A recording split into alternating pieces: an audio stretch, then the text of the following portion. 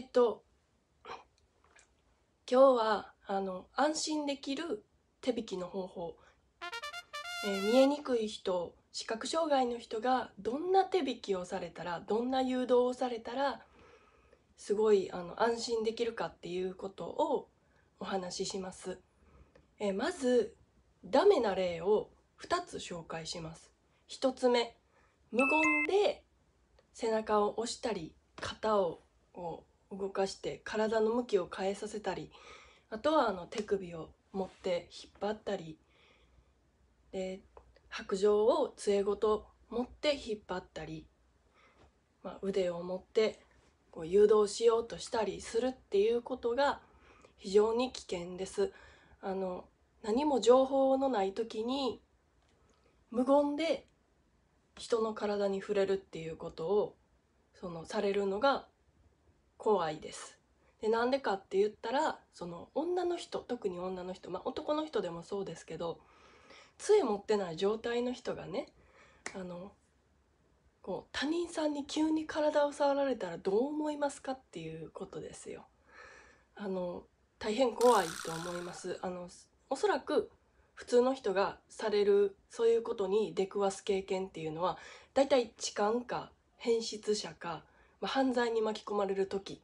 ぐらいですよねあの無断で体を触られるっていうのは。それと同じことをその視覚障害者見えにくい人にするのはダメです危険です。で2つ目2つ目もちょっと似てますが声をかけて例えば「すみません」とか「あのー」とか「こっちですよ」とか「そっちじゃないですよ」とかあの声をかけて同じく後ろからこう背中を押すとかあのこう誘導をね肩持って誘導をしようとするとか手首を持つ白状を持つ肘を勝手に持つっていうことをあのやめてほしいです。でさっきと違うのは声かけがあることです。声かけがあっても私たちはあの弱視の人でまだ視力が残ってる人だったらそうですけど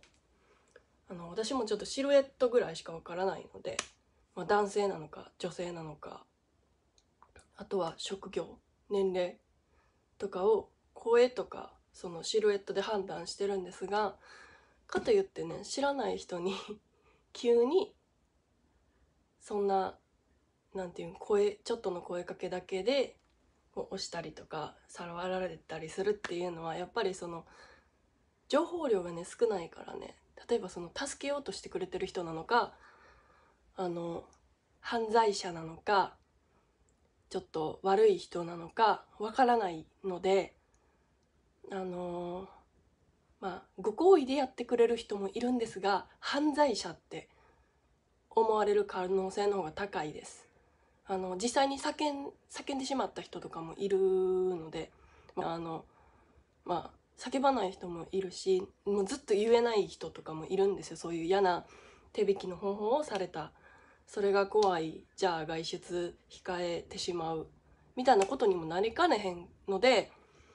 あの今回こうやって喋ってます。でこの2つは気をつけてほしいんです。で2個目の声かけあったのになんでダメなんて思った人がいると思うんですけど声かけあってもこっちそっちあっちとかすみませんとかあのとかでど誰に声かけてるのかわからないですよね。でしかもその次にあのこう押したりとか引っ張ったりとかがあるってことはもうなんかされるって思ってしまうとか怖いっていう方が買ってしまうんです。そのなんて言ったらいいんかな「大丈夫ですか?」とかの声かけもそうなんですけどその例えば「手引きしましょうか?」とか「誘導しましょうか?」とか言ってくれるとまだあこの人助けようとしてくれてんねんなっていうのが分かるんです。あのそうやってやってもらった方があの変質者やとか悪人やって思われる可能性が確実に減るので。で私たちも見えない人たちもそうですけどあのー、見える人でもね変な人に出くわす機会ってあると思うんです。でまあその情報量が少ないとそう思ってしまいがちなんです。たとえ助けてくれようとしている人であっても。で、えーと、2つダメな例を紹介しました。あとはあの心これはなんか発言とか心の問題になるんですけどその助けてやってるのになんでそんな嫌がるんやっていう人がいるんです。でも助けてやってるのにとかあの助けた経験があってまあこれ実際に言われたんですけど助けた経験があるからあのいつも助けたってるねん私いいことしてるねんみたいなちょっとおばちゃん おばちゃんやったんですけど私の場合ね。そういうその時そのこうモヤモヤしすぎて言い返せなくって言い返すっていうかその言えなかったんです。正しいやり方とか方法とか手引きの仕方とかを教えられなかったんです。とかそうやって言ってほしくないです。っていうことを私の口から言えなかったので多分ここういう人多いと思うんです。その自分の口から言えないっていう人が多いので。今回あえて言ってるんですけどその人に例えば何かしてあげるしてあげるっていう感情が湧いたとしてもあえて出さない方がいいとは思いますね。その良かれと思ってやってるっていうのを出されて嬉しいかって言ったら皆さん日常生活で考えてもらったら「いやあんたのためにやったって」みたいなとか「あなたのためを思ってやってあげたのよ」私はいいことしてるのよって言われたらちょっとあのちょっと控えめに見積もっても多分イライラしてしまう人もいると思うんですとか不甲斐ないなとか悲しいなとか思ってしまう人もいると思いますなので できたらあのそういう発言はしないであのここ心地よくあの手引きをしてもらえたらと思います。であの手引きのやり方方法なんですがまず例えばうん。まず白状の人がいたら「すみません」まあこれさっきもね「すみません。あの手引きしましょうか?」とか「すみません。あの道に迷われてますか?」とかあの困ってそうな場合とか例えば危険そうって思った時にこの手引きの方法をしてもらえたら嬉しいんですけど今回手引きの方法を2つ紹介します。なのでこの動画を最後まで見てもらえたらより私たちが安心できます。あの手引きの方法なんですけれどもまず声をかけます。すみません。まあ誰それですって言わなくてもいいです。これこれは。すみません。道に迷われてますか？とか。今すみません。あの電車近いですけど大丈夫ですか？とか。線路の近くだった場合。電車の近くですが大丈夫ですか？道に迷われてませんか？そう道に迷われてませんか？っていうのが大事ですね。であとはあの誘導しましょうか？とかでもいいですよ。でそう言ってもらえたら「はいありがとうございます」かもしくは「いいえ結構です」とかあすいません大丈夫ですっていう言葉がその白状を使ってる人とか見えにくそうにしてる人盲導犬使ってる人とかの口からそういうことがあると思います。大丈夫です。とかちっちゃい声で言う人もいますがまあ人それぞれ断り方があるのでもし断られたらあのそっとこうじっと見つめないでもらってちょこちょこあの見守ってもらえたらあのこう後ろをついていくとかやめてくださいね。あのストーカーやと思ってしまうので。うん。だからその、まあ、断られたらあの近近くに寄らずにあのちょっと見守る遠くから見守る。ぐらいの感じでいてください。でもしも「あお願いします」って言われた時にあの手引きの仕方そもそも手引きっていう単語がわからないと思うので誘導の仕方がわからないと思いますで誘導の方法なんですけどこう私たちがあの誘導しましょうかって声かけてくれた人の肘を持つ。または肩をこう誘導してくれた肩の肩をこうこういう形で持たせていただくのであの肩を持ちますかとかあのよよければあのこう言っていただくと助かります。肩を持ちますか？私の肩を持ちますか？肘を持ちますか？どちらがいいですか？っていうのとあとはあの肩どちら側右側左側どちら側がいいですか？って聞いてもらえると安心できます。それが正しい手引きのスタイルです。でえっと駅とか道とかだと狭いところがあると思うんですけど狭いところの場合はこう前に誘導してる人が立ってたらその後ろにうまいこと一列になって誘導誘導を受けることができるのでそういう狭いところの誘導の時に一列になるっていうのを教わってる人もいるので今から狭いところになりますとか道が狭いですとか情報を教えてください。であとはエスカレーターエレベーター階段ってあるんですけどその時にできたらもうすごい余裕があったらでいいです。あのエスカレーターにしますか？階段にしますか？エレベーターにしますか？どれが一番大丈夫ですかってその楽ですかって聞いてください。あのたまにすごい急いでる のにあのエレベーターすごい遠いエレベーターエスカレーター階段だったりしたことがあったのであの最短距離で行きたい人とか道をある程度把握してる人の場合は、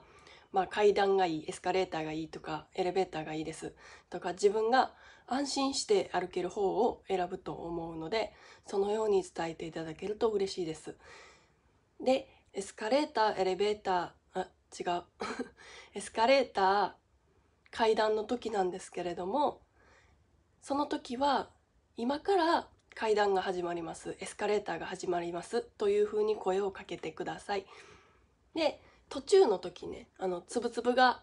途中にある時はあの踊り場ですとか途中ですとか言ってください。まだ階段が続きます。あと1段で終わりますとかもう1回階段がありますとか言っていただくとすごくスムーズですです。すごくスムーズです。でエスカレーターの場合は、えー、エスカレーターの始まりですともうすぐ降りますとかエスカレーター終わりですって言っていただくとあ終わるんやなっていうのが把握できるのでそのように言っていただけると嬉しいです。えっと私たちはそのゆっくりめっちゃゆっくり歩かなくてもいい人もいるので速度このぐらいでいいですかとかもうちょっと早くしましょうかもうちょっと遅くしましょうかって聞いていただくともっと丁寧です すごいあの盛りだくさんなんですけれどもそうやってしてもらえると安全に歩くことができます。であとは進む時もちろんあの行ったら行ったっきりじゃないのでまっすぐしかないわけじゃないので右に曲がります左に曲がりますとかを言ってください。じゃないと急に方向を変えられる急に方向を変えられてしまうとすごい怖い思いをするので右に曲がります左に曲がります止まりますを言ってください。であの声かけをもし断られてへこんでる人に言いたいんですけど あの声かけていただいてありがとうございます。あの声をかけたことに意味があるのでもしこの動画みたいな間違いをしてしまってた。っておっしゃる人はあのもう一回 何回もあのやってもらってというかそのこれを真似てもらって安全に手引きしてください。であのこのなんか犯罪にね巻き込まれるケースもやっぱり多くって例えば犯罪とは言わないけどこう移動する時に急に押されて怖かったとかそういう話も聞くので安全な手引きの方法を言いました。またそのその手引き慣れしてない視覚障害の人もいるのであのぶっきらぼうに断ってしまうこととかあるんですけどそれでもやっぱり安全に歩くことが一番だと思うのであのめげずに声かけをしてください。で断られたらそっと見守っといてください。あの追跡はやめてくださいね。であの追加なのですが、えー、椅子に座る時に電車の中でね「ここ空いてますよ」とか「どうぞ」とかいうことを声かけをしてくださる方がたまにいらっしゃるんですけれどもこうどうぞとかここ空いてますよあそこ空いてますよって言われても残念ながら私たち見えないしあの見間違いがあるのであのわからないので教えてください。例えばあの目の前すぐあのここここのまっすぐまっすぐん？目の前の場所に座るスペースが空きましたよとか目の前ってねもうあの体真正面じゃないと私ら目の前って思わないのであの見えてる人の感覚でちょっと横でも目の前やったりする。あの椅子の誘導はあの背もたれを目の見えない人に触ってもらってであの座るあのお尻つけるとこあるでしょ？そこに片方もう片方の手で触ってもらってまあだからその座る背もたれと座る位置を確認してもらって座ってもらうようにしてください。